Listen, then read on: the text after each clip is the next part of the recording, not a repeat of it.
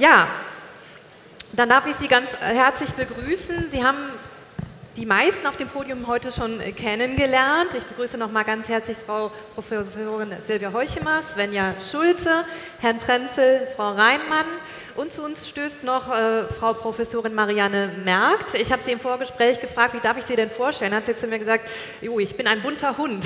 Aktuell ähm, sind, glaube ich, wichtig für die Diskussion, dass sie zwei Hüte aufhat. Nämlich zum einen hat sie eine befristete Professur für Hochschuldidaktik und angewandte Hochschulforschung an der Hochschule Magdeburg-Stendal inne und sie ist auch die Vorsitzende der Deutschen Gesellschaft für Hochschuldidaktik. Schön, dass Sie heute auch bei uns sind und uns bei der Diskussion begleiten. Danke.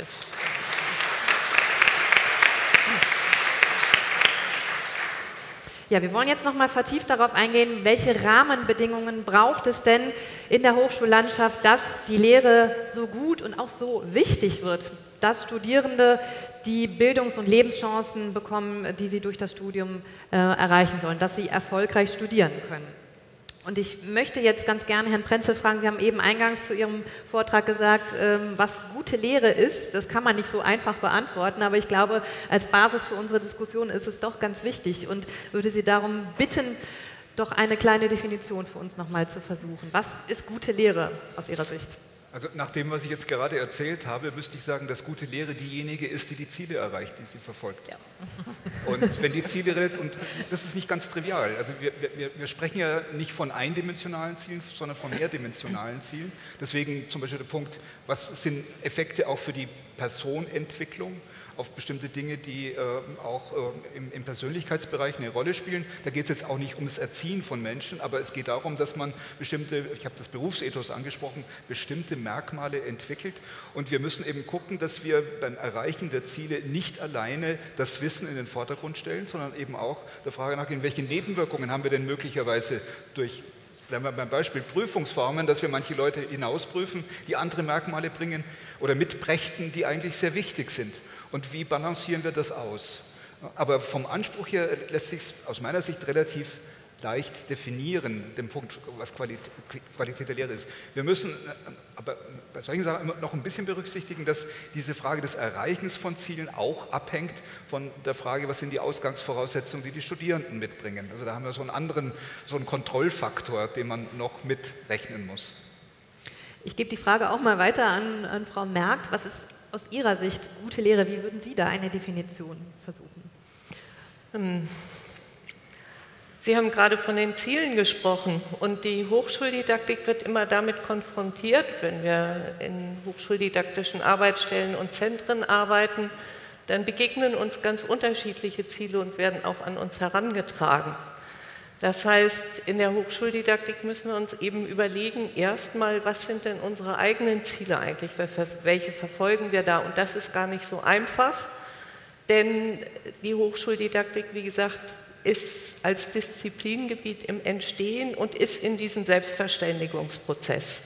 Letztendlich kommen wir auch immer in den Diskussionen dahin, dass wir sagen, es sind einfach bildungstheoretisch begründete Ziele, andere können wir nicht haben. Und die, dann kommen wir natürlich auch zum Teil in Interessenkonflikte, dass Lehrende zum Beispiel ganz andere Ziele haben, dass Studiengangsleitungen andere Ziele haben, dass Hochschulleitungen andere Ziele haben und auch die Landes- und die Bundespolitik wieder eigene Ziele haben, die sozusagen zum Teil damit verbunden sind, zum Teil dem aber auch entgegenstehen. Und insofern würde ich sagen, diese bildungstheoretische Grundlage, das ist, glaube ich, das, die wir immer wieder diskutieren müssen und wo wir als, sagen wir mal, in der Professionalisierungsdiskussion auch sagen, wir übernehmen eine professionelle Verantwortung dafür, dass Studierende äh, fachwissenschaftlich und aber auch akademisch so aus den Studiengängen rausgehen, dass sie einen fachwissenschaftlichen und akademischen Habitus mitnehmen. Mhm. Das heißt, die Diskussion um die Ziele ist auch eine wichtige, höre ich Genau, ja. In Ihren Bereichen ist gute Lehre auf jeden Fall, wird immer wieder diskutiert. Ich würde gerne Sie fragen, jetzt Frau Schulze, Welchen Stellenwert hat denn gute Lehre für Sie als Landespolitikerin? Wie hat sich das in den letzten Jahren entwickelt und welchen Stellenwert sollte sie vielleicht noch bekommen für die Zukunft, die gute Lehre? Also ich habe den Eindruck, äh, dass das Thema Lehre insgesamt an den Hochschulen heute eine viel größere Rolle spielt als noch äh, vor sechs oder sieben Jahren, dass sich das enorm verändert hat und dass es inzwischen auch an den Hochschulen sehr, sehr gute Beispiele gibt. Ich habe bei meinen Bereisungen der paar Hochschulen, die wir haben, es sind 70, ähm, wirklich fantastische Beispiele erlebt. Also äh, TH Köln hier, Flip Classroom ist schon lange her, ich weiß, aber er hat mich damals beeindruckt. Und es gibt auch ähm, andere fantastische Beispiele, RWTH Aachen, die zusammen mit der Fachhochschule so eine Art äh, nulltes Semester anbieten, damit man sich erstmal orientieren kann. Wir haben das versucht, über Landespolitik auch mit anzuregen und wirklich ähm, Mittel zu geben, damit man äh, solche Experimente auch mal machen kann und damit man sehen kann, was ist was, was wirklich Erfolg hat und was wir äh, generell nutzen sollen. Ich finde auch, dass die Digitalisierung und die Debatte, die wir darüber haben, wir haben in Nordrhein-Westfalen Digitale Hochschule NRW, einen gemeinsamen Zusammenschluss aller Hochschulen, aller staatlichen Hochschulen, um darüber zu reden, was sind da die Bedingungen, was kann das mit Lehre ähm, auch noch nach vorne bringen. Was mir noch fehlt, das sind solche Art Leitlinien und eine stärkere Diskussion um Profil und Lehrkonzepte. Weil ich glaube, dass uns das aus dieser Bredouille rausbringen würde, wenn ich jetzt irgendwo bin, sagen immer alle, naja, Qualität der Lehre kann man ja nicht messen. Wir sind sofort wie in der Forschung dabei. Gibt es irgendeinen Index? Können wir im Hirschindex nachsehen, wer hat die beste Lehre? Nein. Also diese, diese Form der Messbarkeit ist nicht da. Ähm, ich finde aber, aus der Debatte müssen wir raus. Wir müssen stärker dahin zu sagen, okay, wir reden über Lehrkonzepte. Man muss sich Ziele geben und dann gucken wir, ob man die erreicht hat. Und bevor wir das nicht haben, ähm, äh, fangen wir auch nicht an, irgendwelche Kriterien zu entwickeln. Und diese Diskussion, die würde ich mir noch stärker wünschen und die kommt jetzt, glaube ich, über den Wissenschaftsrat, hoffe ich jedenfalls mit aller Wucht. Herr Prinzel, das gebe ich noch mal gerne an Sie weiter, noch mal dieses Profilschärfungsthema aufzunehmen. Was kann äh, gute Lehre dazu beitragen, das Profil einer Hochschule zu schärfen? Also ich habe vorhin ein Beispiel angesprochen, wenn also Maastricht wäre ein Beispiel, wo man sagt, wir sind eine junge Universität und wir müssen uns in irgendeiner Art und Weise finden. Und wodurch können wir uns auszeichnen bei einem bestimmten Fachprofil? Und dann macht man möglicherweise case-based problemorientierte Studiengänge zum Konzept. Dafür gibt es gute Gründe, dafür gibt es auch hochschuldidaktische Forschung, die eine Reihe von, von Gründen liefert, dass es ein aussichtsreicher Weg sein kann. Da kann man auch jetzt nicht normativ vorschreiben, ihr sollt das und das machen. Eine Hochschule muss sich finden und sie müssen sich darauf verständigen auch mit einer gemeinsamen Idee zu sagen, das ist unser Anspruch.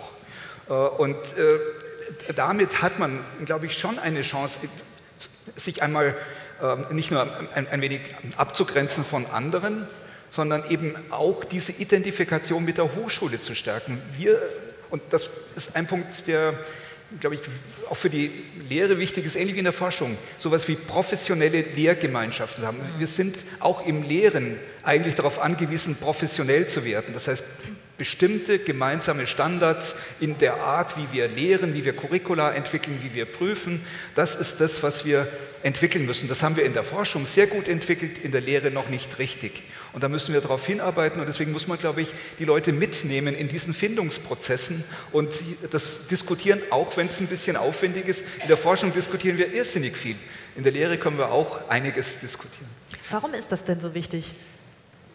Warum ist das wichtig? Weil das eine der Hauptaufgaben der Universität oder der Hochschulen ist, ja. dass sie lehren. Ähm, nein, Professionalität ist deshalb wichtig, weil sie sonst irrsinnige Verluste haben der Kapazitäten, die sie reinstecken.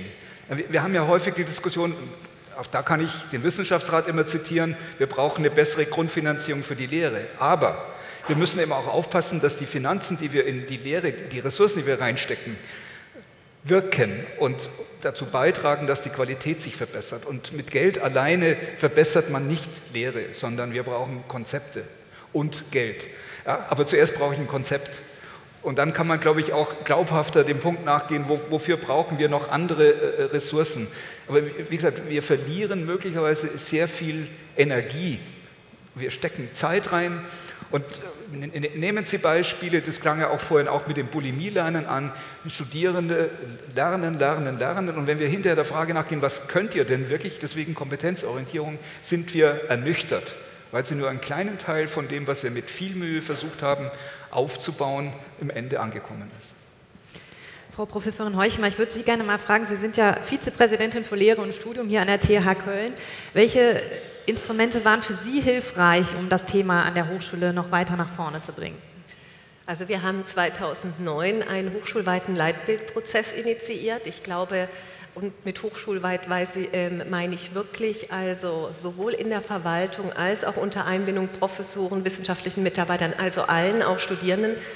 Ähm, wofür steht die damals noch Fachhochschule Köln in den verschiedenen Bereichen und auch im Bereich Lehre? Und das Leitbild, was wir damals formuliert haben, ist ich will sagen, nicht, nicht so besonders, als dass es nicht auch in anderen Hochschulen so oder ähnlich formuliert worden ist. Aber es war ein hochschulweites Commitment und in, jetzt gerade im Bereich Lehre haben wir immer wieder Bezug auf unser Leitbild genommen.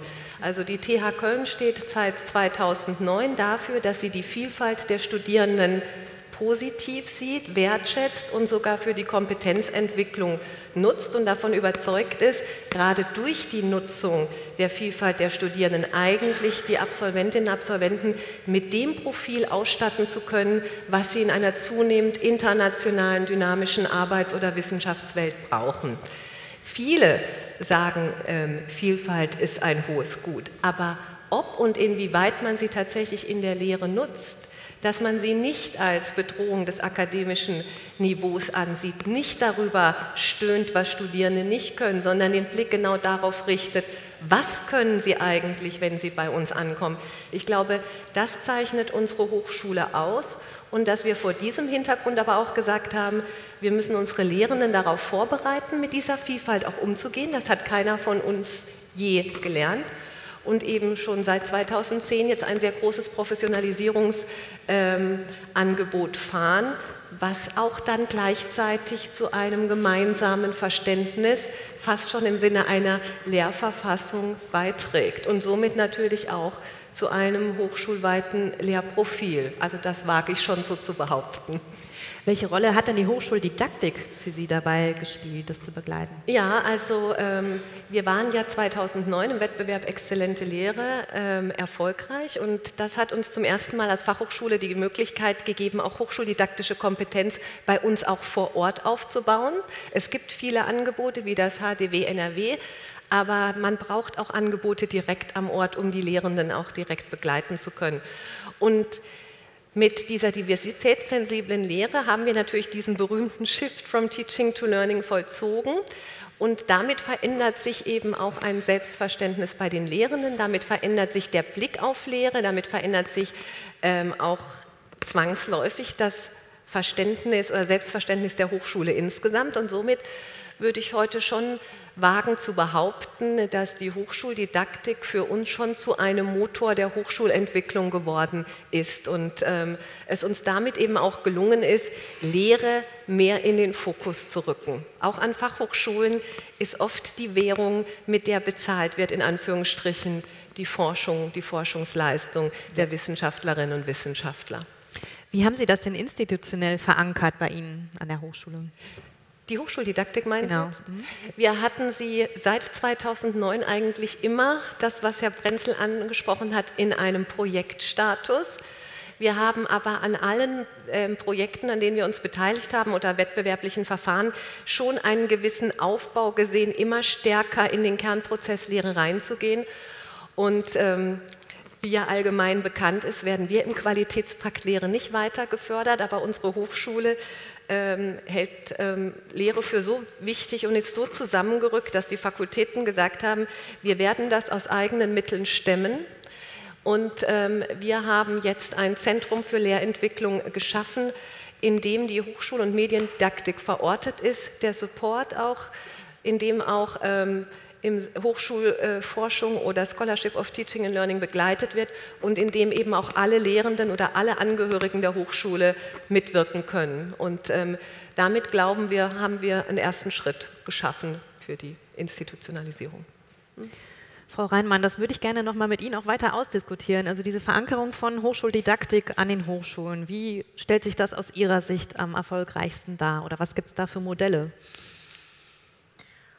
Also es gibt äh, übrigens ähm, richtige Forschung jetzt dazu. Es gibt ein Begleitforschungsprojekt, äh, ein Programm zum Qualitätspakt Lehre und äh, ein Cluster dieser Forschungsprojekte beschäftigt sich unter anderem mit der Frage, wie äh, wird Hochschuldidaktik institutionalisiert. Ähm, da gibt es keine Abschlussberichte, aber da gab es jetzt Montag, Dienstag in Berlin so Einblicke in die Forschung und die zeigt, dass tatsächlich ähm, das sehr divers ist, von äh, eher so eine Idee, man denkt es vernetzt, es gibt gar keinen faktischen Ort, sondern eher so einen virtuellen quasi, sondern man versucht an möglichst vielen Stellen die Fakultäten mitzunehmen und das mit Stabstellen und anderen schon bestehenden Strukturen zu verbinden. Das ist auch teilweise erfolgreich, hat aber eben auch Nachteile.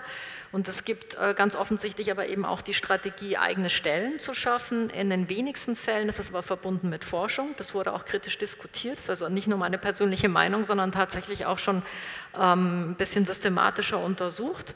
Ähm, und ähm, die meisten ähm, Qualitätsbacklehre-Projekte haben aber das Problem noch nicht gelöst und stehen vor der Frage, was tun wir eigentlich, wenn die Gelder weg sind. Und das finde ich ist ein Symptom. Man greift die Gelder halt ab und schafft Dinge und äh, sagt sicherlich, wir haben eine Nachhaltigkeitsstrategie, aber nachher wie Sie das gesagt haben, das finde ich echt ein super Erfolg, wenn die Fakultäten so überzeugt sind, dass sie sagen, ja klar, wir geben jetzt Geld ab, weil das, wir haben einen Mehrwert erlebt und wir sehen da Synergien und es ist gut aufgehoben, das Geld. Das ist absolut nicht selbstverständlich, sondern ebenfalls wieder die Rückmeldung von diesem Forscherteam, hier gibt es große Vorbehalte, weil man eben auch noch nicht genau weiß, was das wirklich bringt. Und an Universitäten, vor allem großen Universitäten, ist der Fall natürlich nochmal ganz anders. Also man kann jetzt da empirisch darauf antworten, wie wird das gelöst? Das wäre mal so ein Einblick. Das wird sehr interessant, wenn die Ergebnisse in zwei Jahren so vollständiger sind. Finde ich eine übrigens sehr wichtige Forschung. Aber man kann es natürlich jetzt auch normativ sehen, wie hätten es wir denn gerne? Aber da müssen wir natürlich Vermutungen anstellen. Vielleicht kann man ein bisschen in die Geschichte auch gucken. Ähm, es hat ja schon mal einen großen Hype, würde, hat man damals jetzt nicht gesagt, aber es hat eine große Welle gegeben, auch übrigens gekoppelt an Hochschulexpansion, mehr Studierende, man hat hochschuldidaktische Zentren geschaffen, es gibt ein paar sehr gute Überblicksartikel, die die Geschichte nachgezeichnet haben. Und man hat gesehen, man hat das dann so, das hat nicht die Erwartungen erfüllt, vor allem nicht der Politik, dass man sozusagen die Probleme, die die Hochschulexpansion geschaffen hat, hat man durch Didaktiker nicht lösen können. Und das werden wir auch künftig nicht. Deswegen warne ich auch davor, dass wir das meinte ich mit nicht überfrachten, sondern eben auch, wie Herr Prenzel sagte, da braucht man äh, da braucht man mehrere Strategien gleichzeitig. Und ob man die jetzt alle unter dem Blickwinkel der Didaktik subsumiert, sei dahingestellt, ob das sinnvoll ist. Also man kann auch aus der Geschichte lernen und dann gucken, was wollen wir vielleicht. Äh, da braucht man eine Diskussion darüber, was vielleicht auch normativ angemessen wäre, mit Blick zurück, was nicht, schon nicht funktioniert hat, früher nicht, und eben Blick auch auf empirische Befunde, wie Hochschulen das machen und wie erfolgreich sie damit sind. Und in diesem Mix aus Rekonstruktion und Lessons learned, äh, normativer Diskussion und empirischer Grundlage sehe ich generell auch viele Antworten für didaktische Fragen. Also in dieser Verbindung. Allein die Empirie, was sagt uns die? Dann wissen wir, wie es die Hochschulen jetzt machen, ja und? Also ich finde wichtig, was eben äh, auch Marianne Merkt gerade sagte, die Ziele, die mhm. wir haben. Vielleicht hilft uns ja auch da der Blick über den Tellerrand, Frau Merkt. Haben Sie äh, Informationen, wie das in anderen Ländern geregelt ist, didaktische Ausbildung? Gibt es da interessante Modelle? Da gibt es schon interessante Modelle. Also es gibt in den Niederlanden zum Beispiel das Modell, dass die Universitäten sich selbst einen Standard definiert haben und sich den auch setzen, wie sie die hochschuldidaktische Weiterbildung, also die Kompetenzentwicklung der Lehrenden handhaben wollen. Da gibt es einfach einen Standard, sodass Neuberufene kompetent ihren Beruf beginnen. Und an diesen Standard halten sich die Universitäten in den Niederlanden. Das heißt, da ist das Modell ein selbst, äh, sozusagen selbstgesetzter Standard. Anders wird das in ähm, Großbritannien gehandhabt. Da hat, die, da hat nun zufälligerweise die Hochschuldidaktische Gesellschaft sozusagen den, den Impuls übernommen und hat ein Kompetenzstufenmodell entwickelt, die, äh, das äh, Professional Development Framework, äh, was dann definiert sozusagen über, den, ein, ein, über sozusagen die Berufswege, die, über die Berufspfade hinweg, also angefangen bei der Qualifizierung von studentischen Tutorinnen und Tutoren, über Lehrbeauftragte, über äh, ähm, Lehrkräfte mit besonderen Aufgaben bis hin zu Professuren, Kompetenzstufen und auch eine Differenzierung in Bereiche E-Learning, Qualitätssicherung und so weiter, also weitere Bereiche, die zur Entwicklung, Lehrentwicklung dazugehören.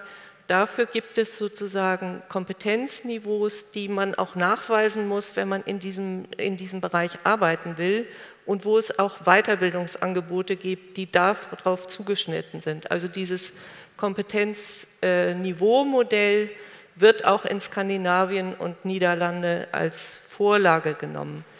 In Skandinavien wiederum ähm, gehen die Universitäten und Hochschulen sehr stark in die Richtung, sozusagen ähm, sowas wie äh, Lehrakademien einzurichten, also zu sagen, wir haben nicht nur eine hochschuldidaktische Einrichtung, sondern die Universität Lund macht das zum Beispiel, sogar auch in den Ingenieursfakultäten, da ist das entstanden, dass man sagt, äh, es gibt Lehrende, die sich mit dem Scholarship of Teaching and Learning auseinandergesetzt haben, die eigene Lehrforschung betrieben haben, die werden in eine Akademie berufen und übernehmen zusätzlich Aufgaben. Das wäre dann sowas wie eine professionelle Lehrgemeinschaft, die mhm. in dieser Art und Weise weiterentwickelt ist. Mhm. Ähm, auch in Finnland an der Universität Helsinki zum Beispiel gibt es eine Professur und da sind die, die einen Mitarbeiterstab hat, die in drei Bereichen arbeiten. Da haben wir zum Beispiel die Stellenstrukturen gar nicht für die also sowohl im Servicebereich als auch im Forschungsbereich als auch im Entwicklungsbereich arbeiten und wo das sozusagen äh, je nach Projekten mit den Fakultäten über kürzere Zeiträume verhandelt werden kann, in welchem äh, sozusagen Segment die Mitarbeiter arbeiten. Mhm. Und die auch Forschung mit den Fakultäten zusammen macht.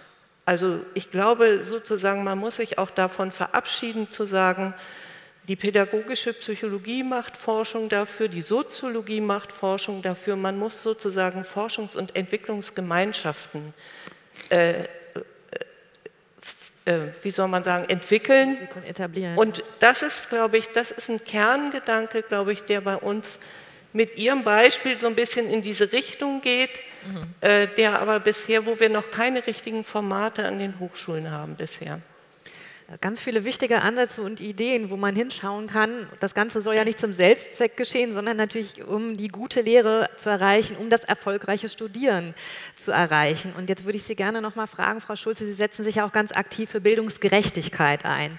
Welche Rolle spielt denn die gute Lehre vor allen Dingen angesichts der Heterogenität an den Hochschulen auch für Sie?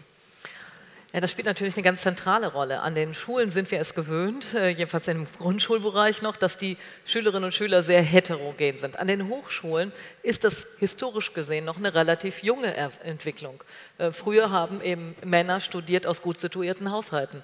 Ähm, das ist heute nicht der gängige äh, Studierendentyp. Und deswegen müssen wir uns stärker mit Lehre auseinandersetzen und mehr dafür tun. Und äh, ich habe es eben schon mal kurz erwähnt, wir haben 14 Schritte sozusagen definiert, wo man überhaupt ansetzen muss. Das fängt ähm, in der Schule schon an, das fängt in der Vorbereitung an. Studierende haben oft schon sehr seltsame Erwartungen, was sie im Studium ähm, dann erwarten erwarten wird.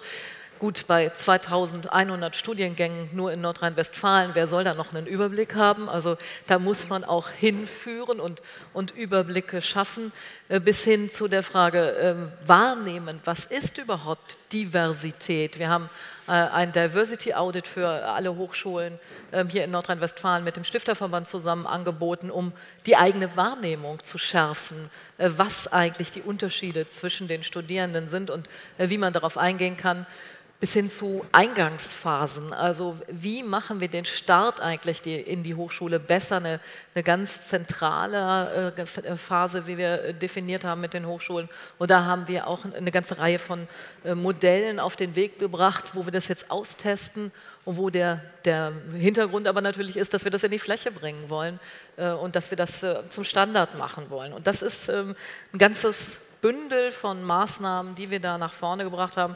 Talentscouting ist sicherlich auch noch was, was be bekannt ist. Äh, wir haben eine Portale, wir haben Studiport inzwischen, wo wir Online-Unterstützung machen, um ähm, Kurse anzugleichen, also Levels anzugleichen äh, in Mathe und in Sprachen. Und das ist ähm, ein ganzes Bündel von Maßnahmen und ich glaube, dass das nur der, der Anfang ist. Wir machen das jetzt seit sieben Jahren inzwischen äh, und je mehr und je länger wir das machen, umso mehr stellen wir fest, was noch alles zu tun ist.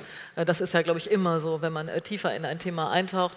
Und wir haben uns mit den Hochschulen gemeinsam in unserer Landeshochschulentwicklungsplanung vorgenommen, das zu einem ganz zentralen Thema in den nächsten Jahren zu machen. Wir haben das mit dem Parlament abgestimmt. Die haben auch gesagt, macht das.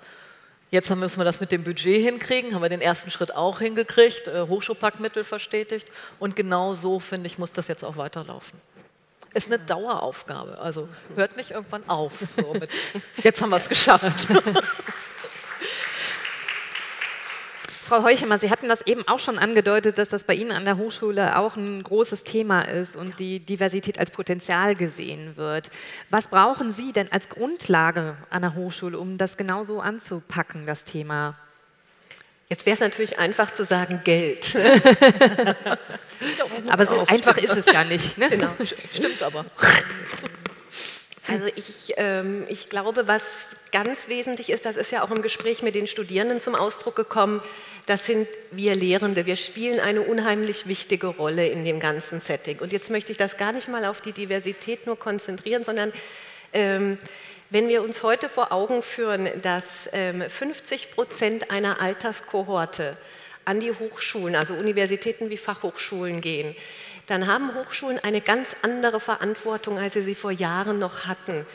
Und ähm, dann ist natürlich auch naheliegend, dass die Heterogenität oder die Vielfalt der Studierenden zunimmt. Wenn es uns jetzt aber gelingt zu sagen als Lehrende, wow, was für eine tolle Verantwortung habe ich. Ich kann hier wirklich gesellschaftlich, ähm, äh, ich kann zur gesellschaftlichen Entwicklung beitragen, indem ich im Grunde genommen die die neuen Change Agents bilde, wenn es uns gelingt, mit dieser Haltung an die Studierenden heranzutreten und ihnen auch klarzumachen, ähm, du hast hier in unserem Rahmen, den wir dir setzen, mit einem klaren Absolventenprofil und einem klaren Versprechen, was du erreichst, wenn du dich hier einbringst, ähm, die Möglichkeit, dann gesellschaftlich später aktiv zu werden. Ich finde, das ist ganz toll und ich glaube, wenn es uns gelingt, den Stellenwert der Lehre eben nochmal anders zu betonen und damit eben auch nochmal die Verantwortung der Lehre deutlich zu machen, die wir hier haben. Ich glaube, dann ähm, muss man gar keine besondere Ausstattung haben, um ähm, Diversität für alle erkennbar zu einem Potenzial zu machen und nicht zu einer Bedrohung. Prima. Frau Merck, ich würde gerne Sie noch mal fragen, so aus Sicht der Hochschuldidaktik, wie können Sie so einen Prozess begleiten und gerne mal wirklich konkret? Also ich kann es mir noch nicht so richtig vorstellen. Also wie kann Hochschuldidaktik da tatsächlich die Lehrenden auch unterstützen? Wie würde das aussehen? Die Frage ist, auf welcher Ebene wir jetzt ansetzen. Also wenn wir jetzt wie bei Ihnen zum Beispiel auf der Ebene ansetzen, ich kenne ja sozusagen die Hochschuldidaktik aus von der TH Köln auch ganz gut.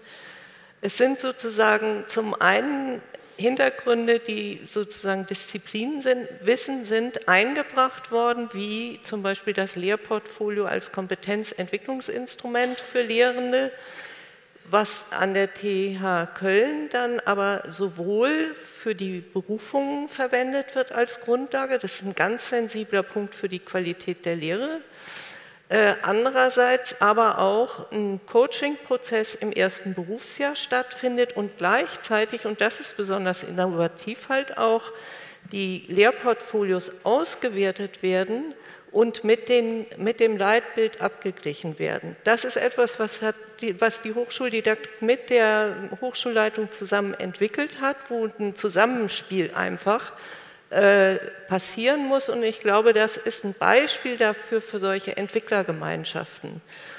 Was hat die Hochschuldidaktik da für eine Aufgabe? Die muss sozusagen einmal dieses Wissen von außen da reintragen und sagen, Lehrportfolios sind ein Instrument, wir müssen das aber auch strategisch einsetzen.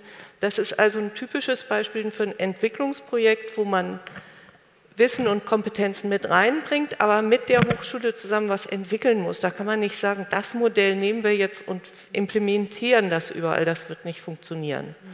Die andere Sache, was Sie angesprochen haben, Herr Prenzel, die Curriculumentwicklung, da stoße ich zumindest, wenn ich das, wir machen das halt viel auch von der Hochschuldidaktik in Magdeburg, aber da stoßen wir einfach auf das Problem, dass sozusagen diese spezifische Mischung in diesem Studiengang von fachlichen Kompetenzen, von akademischen Kompetenzen und also sozusagen das zu formulieren geht noch, aber genau zu wissen, wie kommt man da eigentlich hin?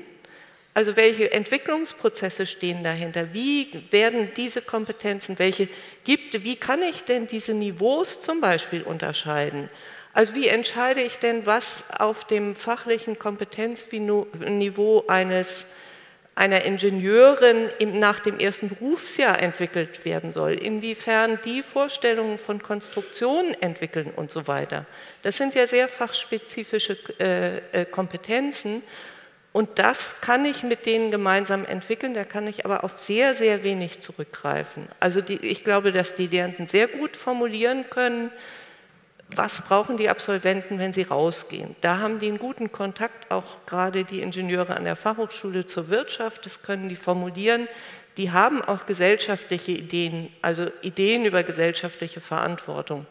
Aber wie die Entwicklungsprozesse dahin aussehen sollen und wie sich das sozusagen im Curriculum niederschlagen soll, das ist für mich sozusagen ein Bereich, der noch sehr, wo es noch wenig Hintergrundwissen gibt.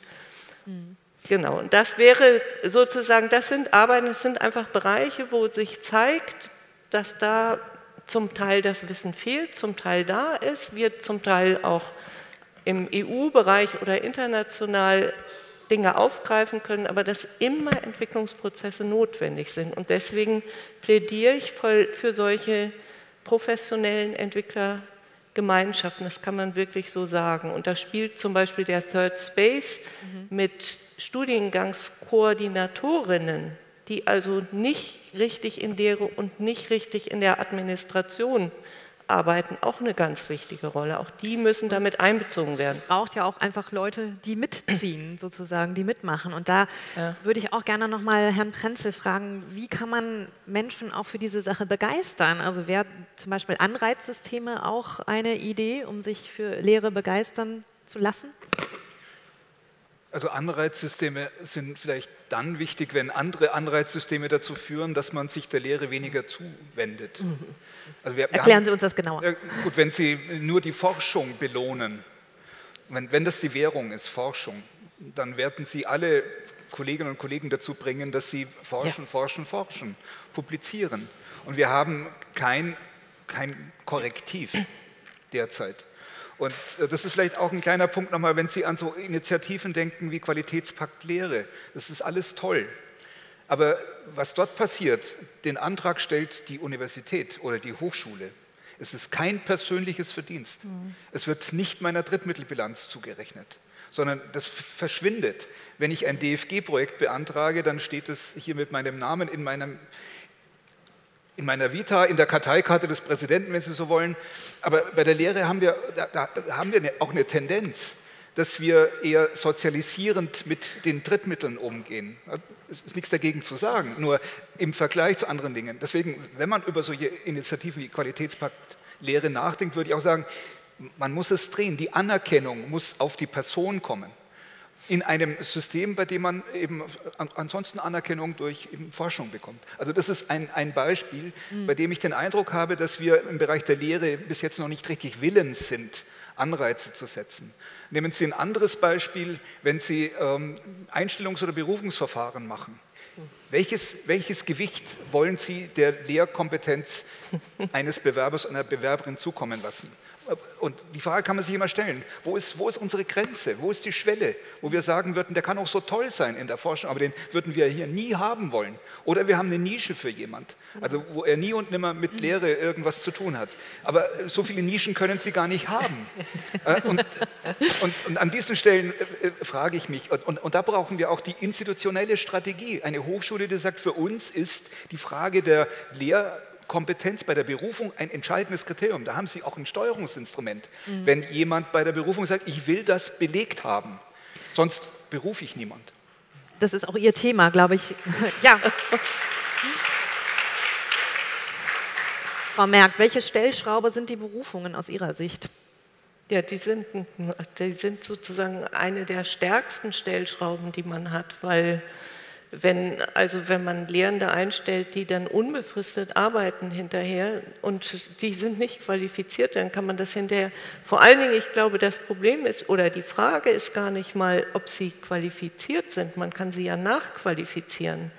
Aber wenn ein Lehrender oder eine Lehrende überhaupt kein Engagement oder Interesse an solchen Fragen, wie Sie sie vorhin aufgeworfen haben, also eine Generation auszubilden und etwas in die Gesellschaft reinzugeben, indem man diese Studierenden ausbildet, wenn man daran kein Interesse hat, weil man an Forschungsfragen interessiert sind, die in ganz anderen Gebieten angesiedelt sind, dann wird man dieses Interesse auch kaum wecken können. Und das ist natürlich eine Sache, die schwierig zu prüfen ist. Aber ich glaube, dieses, dieses Engagement und dieses sozusagen Interesse daran, an diesen Punkten zu arbeiten, das ist eigentlich das Einfallstor. Und wie gesagt, diese Lehrenden sind dann eingestellt, sind da und ich sage immer, dass das Horrorszenario für jeden Studiengang ist, dass man Kolleginnen und Kollegen hat, die über Jahre die Prüfungsausschüsse beschäftigen, weil sie einfach nicht bereit sind und nicht in der Lage sind, gute Lehre zu machen, wo das ganze Kollegium diese Last irgendwie auffangen muss, es ständig Ärger mit den Studierenden gibt, das können sie nicht mehr ändern. Mhm. Das können sie nicht mehr ändern. Dann ist der Zeitpunkt gelaufen. Und deswegen, das ist ein ganz sensibler Punkt, weil in den Berufungen natürlich sehr viel entschieden wird und das sozusagen über viele Ebenen geht, aber das ist auch ein ganz wichtiger Hebel, ja. Mhm. Und das wird natürlich umso wichtiger, auch je mehr Studierende es an Schulen gibt. Da braucht man Menschen, die auch für gute Lehre stehen.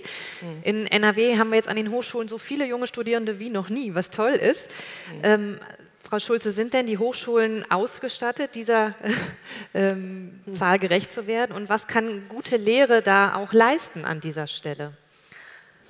Also wenn eine Hochschule in NRW mir sagen würde, sie hat genug Geld, dann würde ich anfangen, mir Sorgen zu machen. da ist irgendwas kaputt gegangen. Also das geht nicht. Hochschulen haben nie genug Geld, weil da sitzen kreative Leute und die haben immer wieder neue Ideen und immer wieder was, was man jetzt noch zusätzlich machen kann. Was wir gemacht haben, ist die Mittel zu erhöhen. Wir haben sie seit 2010 um 54 Prozent erhöht. Das hat kein anderer Bereich in der Landesregierung, dass er so viele äh, zusätzliche Mittel bekommt. Das hat natürlich auch was mit dem Aufwuchs der Studierenden zu tun, aber da müssen wir uns hier im Raum auch nichts vormachen. Ähm, das wird nicht so bleiben. Wir werden weiterhin sehr, sehr viele Studierende haben, aber nicht so viele, wie wir im Moment haben, weil ich hoffe nicht, dass wir solche Experimente wie den doppelten Studiengang häufiger machen, also das, das äh, Abitur verkürzen und dann plötzlich ein Doppelabi da äh, haben. Ähm, das löst natürlich äh, enorm viel aus. Und ähm, selbst wenn die Hälfte eines Jahrgangs studiert, die Jahrgänge werden im Moment kleiner. Das wird auch dazu führen, äh, dass sich etwas verändert. Und deswegen finde ich im Moment die große Herausforderung für die nächsten Jahre, das Geld im System zu halten. Wir tun immer so, als müssten wir nur darüber diskutieren, wie wir denn mehr Geld bekommen. Ich glaube, die Anforderung wird sein, das Geld überhaupt im System zu halten, bei sinkenden Studierendenzahlen zu sagen, wir brauchen trotzdem weiterhin so viel Mittel, äh, wir brauchen das Geld vom Bund, das ist jetzt nicht viel im Vergleich zu dem, was die Länder geben, aber das hat wichtige Impulse gesetzt und auch dieses Geld wird äh, in den nächsten fünf Jahren neu verteilt. Deswegen, ähm, es hat sich schon eine Menge getan. Äh, was sich noch tun muss, ist mehr verstetigtes Geld. Da sind wir in Nordrhein-Westfalen diejenigen, die das gemacht haben, die jetzt gesagt haben, wir verstetigen äh, einen Teil des Geldes. Das würde ich mir jetzt auch von der Bundesebene wünschen. Das würde wirklich äh, sehr viel mehr Sicherheit geben, wenn wir wegkommen von dem Projektmittel hier, Projektmittel da und dauerhaft Personal beschäftigen können, um mit den ähm, Studierenden und der Veränderung der Studierenden eben auch klarzukommen. Also insofern, es ist eine Menge erreicht, ähm, aber wie gesagt, nicht zurücklehnen. Es ist noch viel zu tun. Also das bleibt eine Daueraufgabe. Welche Aufgabe können denn in diesem Prozess eigentlich auch die Studierenden selber übernehmen? Das würde mich jetzt nochmal interessieren. Das gebe ich gerne einfach mal offen an die Runde. Also wir hatten eben die Studierenden, die Wünsche äußern dürften. Äh, was spielen denn Studierende selber bei guter Lehre auch für eine Rolle? Welche Verantwortung haben die? Also ich bin ganz froh, dass Sie das jetzt bringen, weil ich mir die ganze Zeit schon gedacht habe, ähm, es wurde schon mehrfach heute gesagt und das fand ich auch nochmal schön, die beiden Studierenden da gehört zu haben.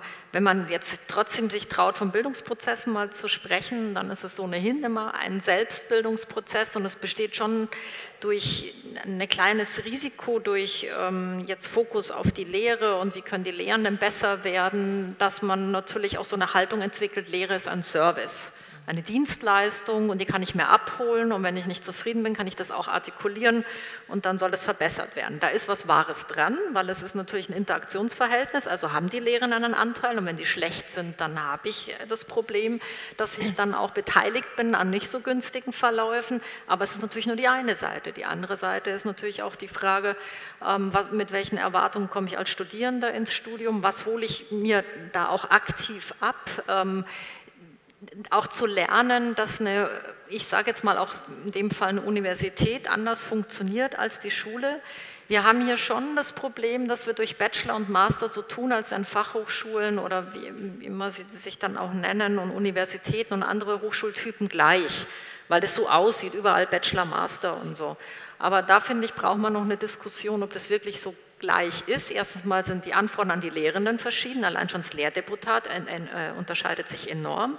Die Anforderungen in der Forschung, wenn man weiter sich woanders berufen lassen würde, gerne, äh, sind, sind andere. Insofern müssen wir auch aufpassen, Studierende, die an Fachhochschulen gehen, welche Erwartungen, was dürfen die dort erwarten, was dürfen Studierende an Universitäten erwarten, was bedeutet das wiederum, äh, wie Lehrende ihre äh, Lehre gestalten sollten. Das dürfen wir vielleicht also vielleicht muss man es mal ab und zu, obwohl wir mal gern von Hochschulen sprechen, wieder ein bisschen auseinanderdröseln. Weil man eins darf man nicht vergessen, an Universitäten wollen wir auch den wissenschaftlichen Nachwuchs rekrutieren. Das ist ungemein schwer zu sagen, wie, und das wird ja auch oft beklagt von den Kollegen, Nivellierung der Leistung und Diversität bei aller, ich teile das total, dass man sagt, wo sind auch Möglichkeiten, Formate, dass wir die Diversität nutzen. Aber wir kennen doch ehrlicherweise auch alle die Klagen äh, von äh, Fachwissenschaftlern, dass man sagt, ich muss eigentlich mein Niveau senken oder wenn sie es nicht tun, es ist mir egal, dann schaffen das viele nicht. Das ist echt eine komplexe Diskussion, wo es ganz schwer ist, so eine einfache Antwort zu kriegen, weil überall ein Stückchen Wahrheit ist. Ne? Also das, das, das, da trifft sich irgendwo in der Mitte. Und deswegen die Frage, Studierende, was dürfen die erwarten, wie kann man ihnen helfen, was müssen sie selber tun? Ich finde auch, wenn jemand sein Studium abbricht, wird er Gründe haben und macht vielleicht was anderes, weil er das Jahr oder das Semester genutzt hat, um festzustellen, das ist nicht für mich das Richtige, äh, das Fach nicht oder die Hochschulart nicht oder ich mache doch was anderes. Das war vorhin auch günstig umgekehrt natürlich auch. Ich mache erstmal eine Ausbildung und entdecke, was mich eigentlich interessiert. Und da würde ich mir auch mehr Diversität wünschen. Im Moment tun wir so, Hauptsache mehr Studierende, aber das ist ja auch divers und auch hier wegkommen von jeder Studienabbruch ist ein Drama. Das ist vielleicht auch eine Findungsphase, weil die Schulzeit kürzer ist und so weiter. Also wichtiger Punkt, den Sie ansprechen, ja. die Studierenden. Und da wissen wir wahrscheinlich auch noch ein bisschen zu wenig über die psychologischen Gründe und soziologischen Gründe. Ja. Vielen Dank dafür. Ich würde jetzt gerne die Zeit noch nutzen und auch Sie zu Wort kommen lassen, wenn Sie an die Runde hier Fragen haben. Wir haben Mikrofone vorbereitet. Sie können sich gerne melden und dann kommen die Kollegen zu Ihnen. Da vorne sehe ich direkt eine Wortmeldung. Alle schon unterzuckert jetzt.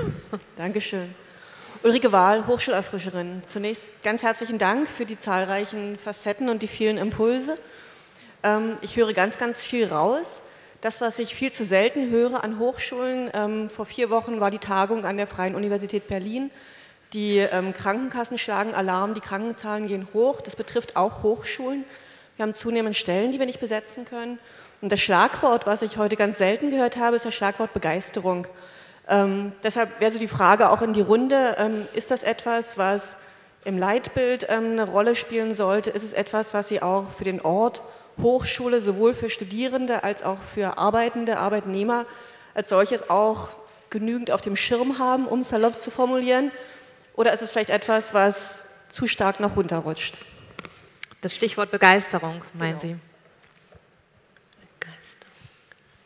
Begeisterung. Begeisterung von Mitarbeitern? Problem mit die Frage, Frage ist noch nicht ganz klar geworden. Geht es um die Begeisterung von Mitarbeitern? Oder wie, wie würden Sie sich diese Begeisterung institutionalisiert vorstellen? Ja. Um es an der Hochschuldidaktik festzumachen, also vorhin fiel das Stichwort Berufungsverfahren auch. Was soll eine Person mitbringen? Ähm, eine Person, die lehrt und die äh, mit Studierenden zusammenarbeitet, sollte ja auch in der Lage sein, für das Thema zu brennen, für das Thema zu begeistern. Das wäre die eine Facette. Aber es zieht sich natürlich wie ein roter Faden auch durch. Also wie ist das Hochschulleitungsteam zusammengesetzt? Ist das ein Team, was wirklich begeistern kann, was alle mitreißen kann? Dann zieht sich weiter, Verwaltungsebene, ist das ein Bereich, ähm, kann wirklich dieser ganze Stab, diese vielen befristeten Personen, können die begeistert werden, um wirklich mitzuziehen mit dem Leitbild? Ähm, also wirklich so als roter Faden, horizontal und diagonal. Herr Prenzel, das ist eine strategische Frage. Naja, also die andere Frage ist ja, wenn Sie mit Kolleginnen und Kollegen sprechen, dann sind die alle von ihrer Forschung begeistert. Warum sind sie von der Forschung begeistert? Weil sie das Gefühl haben, dass sie in Communities sinnvolle Dinge machen. Und äh, ich würde mal sagen, äh, es ist fürs Leben nicht so ganz schlecht, wenn man das, was man tun muss, auch mit Begeisterung macht. Also es macht das Leben sehr viel schöner.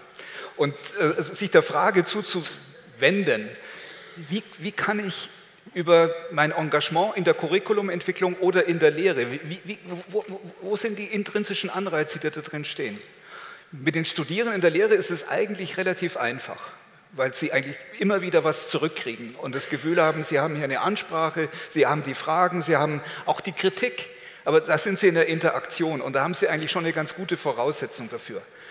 Ähm, für die Frage Curriculumentwicklung, also ich würde wieder sagen, also Sie haben den Punkt damit angesprochen, wie schwierig ist es, ein, den Weg durch ein Studium zu beschreiben, der nicht nur Wissen aufeinander aufsetzt. Mhm. Ja, und wenn Sie das aber zurückbinden,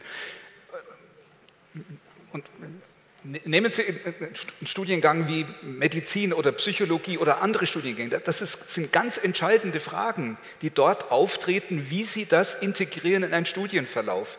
Und ich würde sagen, Problemlösen ist auch ein Faktor, der Begeisterung auslösen kann. Und jetzt komme ich noch zum letzten Punkt, was ich versucht habe vorhin zu sagen. Wenn wir immer nur mit extrinsischen Anreizen steuern, dann haben wir keine Chance, dass intrinsische Anreize richtig hochkommen. Deswegen muss man, glaube ich, ein bisschen sehen, inwieweit wir nicht so und so zu viel mit extrinsischen Anreizen in Hochschulen steuern. Prima, vielen Dank. Weitere Fragen? Da vorne geht es weiter. Ja, mein Name ist Ines Langemeyer, Professor für Lernforschung am Karlsruher Institut für Technologie. Ähm, die Diskussion ist bislang sehr schön facettenreich gewesen. Ich möchte aber auf einen Punkt hinweisen, den ich bisher jetzt vermisst habe und zwar die Pluralität auch der Wissenschaften. Es ist auch aus der Perspektive, die ich biografisch mitbringe, so, dass es für ein gutes Studium meines Erachtens wichtig ist, dass Studierende auch die Pluralität der Wissenschaften kennenlernen. Und das haben wir in der Reform, in der Hochschulreform zunehmend verengt. Wir haben eigentlich eine Form der Strategiebildung, möglichst effizient die Ressourcen einzusetzen, aber in der Form, dass man sich nicht leistet, mehrere Methodenlehrstühle mehr zu haben, beispielsweise also ein Gebiet in mehrfacher Besetzung eigentlich zu haben, sodass auch tatsächlich eine kritische und lebendige Wissenschaft entsteht. Und das, dass wir quasi weil wir das Curriculum schon sehr eng gezurrt haben, auch für die Studierenden, selber dastehen als Lehrende. Wir können eigentlich nur gucken, dass wir versuchen, dieses Gebiet möglichst gerade abzudecken und damit also äh, wir haben eine große Diskussion um die Diversität, ja, das hatten wir jetzt hier, wie schön das ist, dass die Studierenden auch in dieser Bandbreite dann plötzlich auf eine ähm, Personen eigentlich kommen. Aber ist es nicht auch wichtig und auch gerade im Sinne der Diversität, dass sich Menschen orientieren können in einer Hochschule, die auch eine Pluralität lebt? Denn das ist das, was ich auch festgestellt habe, ist das, was ein lebendiges Studierendenleben bedeutet, dass wir sehen, andere begeistern sich plötzlich für irgendeine Art der Theoriebildung, eine bestimmte Richtung und sagen, wow, das ist toll. Und dann geht man zusammen in die Kneipe und diskutiert erstmal den ganzen Abend. Ja? Kennen wir das? Ja? Also diese Sache. Pluralität. Ja. Pluralität der Wissenschaften. Auch das wäre, finde ich, eine ganz wichtige Strategie, Strategiebildung für gute Lehre. Sie haben schon genickt, Frau Schulze. Naja, das ist ein Thema, was ich in der letzten Zeit häufiger angesprochen habe und wo ich äh, unterschiedliche Rückmeldungen kriege, weil ich finde, Bologna hat ganz viel eröffnet. Die Hochschulen äh, können in einer ganz anderen Weise ihr Profil schärfen über neue Studiengänge. Ähm, das wird nur sehr stark auch genutzt, sodass wir inzwischen eine Unübersichtlichkeit haben und eine Spezialisierung im Bachelor wo ich mich frage, ob das eigentlich noch das Richtige ist, ob wir wirklich so speziell in die Bachelor einsteigen wollen, weil ich die Grundidee eigentlich mal anders verstanden habe, nämlich dass wir einen fachlich breiten Einstieg in etwas ermöglichen und die Spezialisierungen und die, die wissenschaftliche Zuspitzung erst in einer späteren Phase erfolgt. Ähm, das ist aber bei, ich nehme jetzt mal einen nicht mehr akkreditierten Studiengang bei Management of Coffee Making, finde ich nicht wirklich gegeben, dass das eine Breite in der BWL dann hat. Ist nicht akkreditiert, deswegen nehme ich den gerne, ähm, der ist äh, gerade rausgefallen, aber ähm, ich glaube, dass wir darauf achten müssen. Und zwar äh, gerade, ich habe jetzt mit den Wirtschaftswissenschaften viele kontroverse Diskussionen darüber geführt.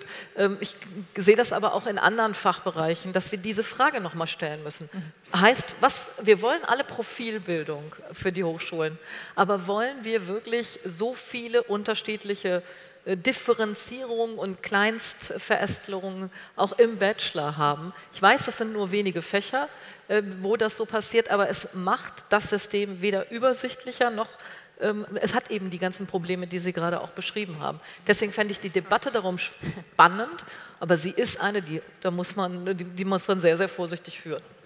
Frau Reinmann. Ich habe das Statement ganz anders verstanden gerade. Also ich, für mich war das jetzt kein Plädoyer für eine Diversifizierung in den äh, Studiengängen, dass ich eben dann auch den, äh, den spezialisiertesten äh, Studiengang da habe, sondern ich habe daraus gehört ein Plädoyer, und das würde ich eigentlich gerne unterstreichen, ähm, dass wir es Studierenden ermöglichen, anhand einer Fachwissenschaft das wissenschaftliche Denken zu, zu, zu, erlernen. Und das kann ich aber nur, indem ich erkenne, dass Wissenschaft nichts Einheitliches ist, sondern dass einfach ein Soziologe, ein Psychologe, ein, ein Mathematiker, ähm, ein Historiker so verschiedene Zugänge haben, wie sie zur Erkenntnis kommen und wie kann Erkenntnis diese Erkenntnismittel auch für die Praxis nutzbar gemacht werden, kann ich nur erkennen, indem ich das mal ausprobiere.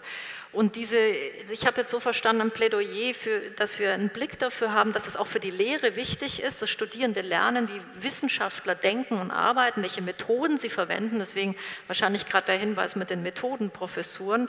Ähm, und das hat überhaupt nichts damit zu tun, dass man sozusagen sehr verschiedene Studiengänge macht, weil da würde ich Ihnen zustimmen. Das ist das haben wir ja auch vorhin bei den Studierenden gerade gesehen. Äh, das führt dazu, dass man orientierungslos ist äh, und es führt dazu, dass die Idee von Bologna nicht aufgeht, weil die Dinge gar nicht mehr miteinander kombinierbar sind äh, und ich, die gar nicht aufeinander aufbauen können. Ich habe es eher verstanden im Sinne von vergessen wir nicht der Gegenstand des Wissenschaft in einem Hochschulstudium und wie können wir sozusagen die, verschiedenen disziplinären Denkweisen nutzen, durchaus auch praktisch nutzen. Und wie können wir sie reinbringen in die Studiengänge. Das war jetzt mein Verständnis von dem Aber das widerspricht sich ja nicht. Ich meine, und ähm, ähm, die die Schelte der Bologna-Reform, dass sie anscheinend zu sehr verschult und damit das nicht mehr möglich macht, ist ja nicht richtig, sondern es ist ein Ordnungsrahmen und der es uns eigentlich überhaupt nur ermöglicht, Studierenden, wenn wir es ernst nehmen, zu sagen, was sie erwarten können. Ja, ehrlich, offen, transparent, das hat Herr Brenzel auch gesagt, und ihnen dann im Grunde die Freiheit zu geben, auch verschiedene Wissenschaftsdisziplinen, Methoden kennenzulernen auf dem Weg dahin. Also ähm, von daher verbindet sich das ganz gut. Je breiter wir unsere Studiengänge aufstellen, je freier wir sie in einem gesetzten Ordnungsrahmen organisieren, der Verlässlichkeit ähm, sicherstellt, umso mehr können wir, glaube ich, auch ähm, der Forderung gerecht werden. Um es nochmal auf die gute Lehre, auch um die es ja heute geht, zurückzubringen. Also ein Plädoyer würde ich jetzt so verstehen, über den Tellerrand einfach auch hinauszublicken. Also dass Lehre auch einfach Offenheit signalisiert. Gibt es noch weitere Anmerkungen? Hier vorne, gerne. Wo haben wir die Mikrofone? Gerade ganz da hinten. Ach so, Entschuldigung, ich hatte es nicht gesehen. Das war schon da vorne. Dann kommen wir gleich als nächstes dann nochmal hier vorne. Hallo, mein Name ist Alexandra Schreiner von der Technischen Hochschule Köln. Ähm, ich hätte eine Frage zum, zur Stellung des wissenschaftlichen Mittelbaus bei der guten Lehre. Denn ähm, im Moment ist so der Trend, dass an die Fachhochschulen sehr ähnliche Anforderungen gestellt werden wie an die Universitäten, aber der strukturelle Aufbau und die Gegebenheiten sind nun mal ganz andere. Der Mittelbau an den Universitäten ist sehr breit, an den Fachhochschulen sehr klein und sehr eng. Ähm, und daher würde ich ganz gerne von Ihnen eine Stellungnahme haben zum wissenschaftlichen Mittelbau und eben der Rolle bei der guten Lehre. An wen geht die Frage genau? An Sie. Ähm, gerne in die Runde. Also ich glaube, das ja. adressiert sowohl Herr Prenzel als auch äh, Frau Reinmann hat das ja vorhin schon angesprochen, dass die Fachhochschulen nun mal eine andere Stellung haben als die Universitäten, als auch Frau Heuchemer. Also ich glaube. Äh, Fangen wir mal mit Herrn Prenzel an. Also wo, äh, wie sind da die äh, Gewichtungen unterschiedlich an den beiden Formen? Also Mittelbau ist für mich ein bisschen die Frage, wen wir damit meinen. Meinen wir den Mittelbau, der sich in der Qualifizierungsphase be befindet oder meinen wir Mittelbau, der in, auf Dauerstellen ist? Und da haben wir zwei unterschiedliche Funktionen. Gerade für die Lehre kann es ja auch sinnvoll sein, auf mehr auf Dauer gestellte ähm, Mittelbaustellen bereitzustellen. Und äh, ich glaube, in diesem Prozess befinden wir uns derzeit ein wenig, äh, wenn man anschaut, also diese große Diskussion, inwieweit wir über die letzten Jahre nicht extrem viel, gerade über die Drittmittel an befristeten Stellen aufgebaut haben und welche Rückwirkungen das auf die Lehre hat. Und das hat natürlich Rückwirkungen auf die Lehre. Und diese Plädoyers heute mehr darüber nachzudenken, welche Stellen unbefristet vergeben werden sollen, sind aus meiner Sicht für die Lehre von, von großer Bedeutung. Äh, und der andere Punkt ist natürlich, wenn Sie den Qualifizierungsweg für den, Mittel, für den Mittelbau anschauen, dann, dann, ist ein entscheidender Punkt, wenn Sie sich verändern wollen in Richtung Professur, dass Sie in irgendeiner Art und Weise Forschung und Lehre verbinden müssen. Da, da kommt man nicht dran vorbei. Aber es ist aus meiner Sicht nicht der einzige Karriereweg. Also es das heißt ja nicht, dass jeder, der eine Mittelbaustelle hat, unbedingt eine Professur will. Es könnte andere Wege geben. Wir haben immer wieder darauf hingewiesen, wie wichtig Personalentwicklung wird. Also andere Karrierewege neben der Professur auch für die Kolleginnen und Kollegen vorzusehen, die im, im, im Mittelbau unterwegs sind. Also zu, zu diesen Perspektiven würde ich gerne was sagen. Ähm, bei den Anteilen ist natürlich so, dass an den Fachhochschulen beklagt wird, dass man viel zu wenig Mittelbaustellen hat. Äh, das ist äh, auf der einen Seite vielleicht auch ein bisschen ein Strukturelement der Fachhochschulen, weil man auf der anderen Seite die Stärke der professoralen Lehre hat. Das sind die Kolleginnen und Kollegen, die wissenschaftlich ausgewiesen sind und fünf Jahre wenigstens Praxiserfahrung haben. Und das halte ich für ein, ein Spezifikum, ist ein Alleinstellungsmerkmal. Das würde ich auch nicht gerne verschenken wollen. Ich glaube, dass die Fachhochschulen hier ihre Besonderheit haben. Und von daher wird man, glaube ich, an den Fachhochschulen immer das Problem haben, dass die Mittelbaumenge in Relation zur Professorenanzahl kleiner sein wird, weil man diese Besonderheit hat. Es ist ihre Stärke. Prima. So, dann würde ich gerne hier vorne noch die Frage zulassen. Hier vorne. Ganz, ganz vorne in der allerersten Reihe.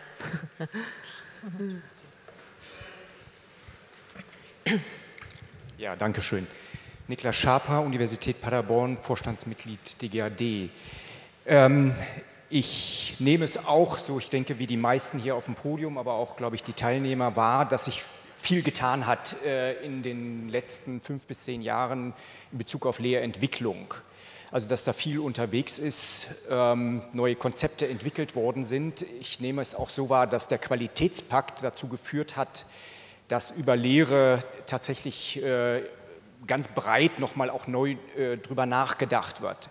Und ich begrüße es auch sehr, dass der Wissenschaftsrat sich dieses Themas äh, annimmt und äh, hier sozusagen jetzt nochmal, also die, diese Entwicklungen äh, aufnimmt und äh, denke ich auch nochmal eine, eine Richtung weist im Sinne von, ne, an der Stelle muss es jetzt weitergehen, im Sinne von äh, Lehrverfassungen äh, formulieren, Lehrprofile weiter schärfen. Ich frage mich an der Stelle so ein bisschen, und da geht die Frage an entweder Frau Schulze, vielleicht auch an Herrn Prenzel, äh, was äh, bedarf es für Rahmenbedingungen oder Impulse, insbesondere auch politischer Art, um äh, diese Entwicklung weiter zu fördern? äh, so im Sinne äh, eines vielleicht jetzt Qualitätspakts nach 2020, äh, der sozusagen einen neuen Wettbewerb oder andere Rahmenbedingungen schafft, um das, was wir jetzt erreicht haben, im Prinzip auf eine neue Stufe zu führen. Mhm. Vielleicht gibt es dazu Ideen oder auch schon Ansätze. Frau Schulz, jetzt weiß ich nicht, inwieweit Sie als Landespolitikerin darauf antworten können, aber ja, ich habe zufällig ähm, vor zwei Wochen ein Papier dazu veröffentlicht. Also weil wir, ich auch denke, der Impuls muss weiter äh, auch aus der politischen Ebene kommen. Wir haben den politischen Impuls gegeben mit der Exzellenzstrategie und der Exzellenzinitiative. Es muss auch genauso einen Impuls geben für die Lehre den Impuls, den wir da im Moment haben, das ist der Hochschulpakt. Der läuft aus. Also haben wir eine große Chance, ähm, das nochmal wieder zu verändern. Und ich würde sowas gerne verändern in ein Instrument, was dauerhafter ist. Ich glaube, wenn man dauerhaft hingehen würde und ähm, auch vom Bund aus eine, eine Prämie zahlt und sagt, diejenigen nach Fächern differenziert, die an den Hochschulen gibt, die sind, die unterstützt der Bund mit. Wir machen auch wie in NRW so eine Abschlussprämie und dann vielleicht für diejenigen, die ähm, über nicht traditionelle Wege an die Hochschulen kommen, die ohne Abitur kommen oder so, nochmal einen, einen Zuschuss, dann könnte man nochmal einen anderen, einen anderen Blick auf Lehre auch lenken. Und diese Zuschüsse eben nicht zeitlich begrenzt, sondern für die Studierenden, die da sind. Also einfach sagen, das ist was, was mit dazugeht. Da legen wir, genau wie wir Exzellenzstrategie machen, machen wir auch eine Strategie, die Lehre unterstützt. Ich fände sowas richtig. Das ist genau das, was im nächsten Jahr, in den nächsten anderthalb Jahren in der Diskussion sein wird, ob wir da was hinkriegen, ob wir diese Mittel äh, sinnvoll weiterhin im System halten oder ob da 2020, 2023 Schluss ist. Und mir liegt daran, wirklich neu verstetigten Pakt, nicht mehr befristet, so wie die Exzellenzstrategie auch, dauerhaft einfach zusätzlich Geld reingeben und das orientiert äh, an der Zahl der Studierenden. Ich glaube, das ist das einfachste Mittel. Vielen Dank für, diesen, äh, für diese Vorlage. Ich möchte nämlich jetzt gerne so ein bisschen mit Ihnen gemeinsam in die Zukunft schauen und würde gerne mal fragen, stellen Sie sich vor, wir sitzen 2030, ist gar nicht mal so lange hin, wenn man überlegt, nochmal in genau so einer Runde hier und ich würde Sie alle fragen, was sind gute äh, Rahmenbedingungen, die gute Lehre und erfolgreiches Studieren ermöglichen. Schauen Sie mal in die Glaskugel und sagen Sie mir, worüber reden wir dann in dieser Konstellation? Frau Merkt.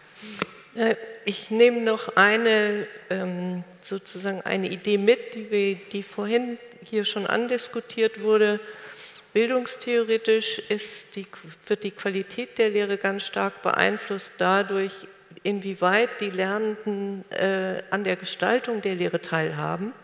Sie haben nach der Rolle der Studierenden gefragt und auf der einen Seite wird ganz häufig beklagt, die Studierenden beteiligen nicht, sich nicht, die sind zu kurz an der Hochschule. Auf der anderen Seite gibt es auch im Qualitätspakt Lehre Projekte, von wo Studierende also Projekte entwickeln und dafür gefördert werden und da kommen erstaunliche Dinge bei raus.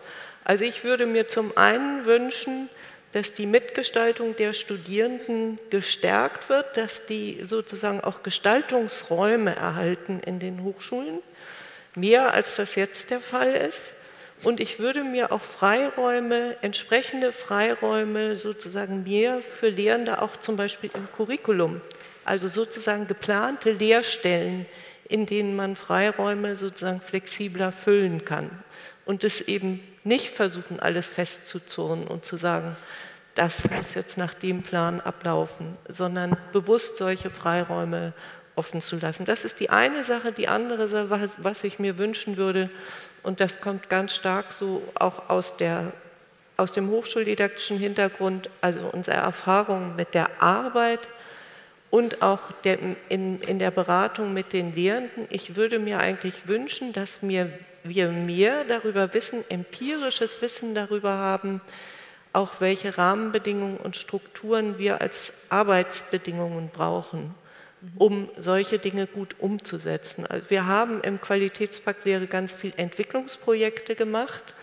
Wir haben, sehen gute Beispiele und wir sehen immer dieses, diese Balance zwischen Engagement, Begeisterung, die aber auch zum Burnout führen kann, wenn sozusagen die Arbeitsbedingungen dafür nicht entsprechend sind. Und ich würde mir eigentlich wünschen, dass das empirisch besser aufgearbeitet ist und wir wissen, welche Rahmenbedingungen dafür wichtig sind, weil da wissen wir relativ wenig und wenn man sich den Krankheitsstand auch in Hochschulen mhm. anguckt, da gibt es durchaus auch Bereiche, wo man sagen müsste, das ist auch ein Arbeitsfeld, was wir eigentlich angehen müssten.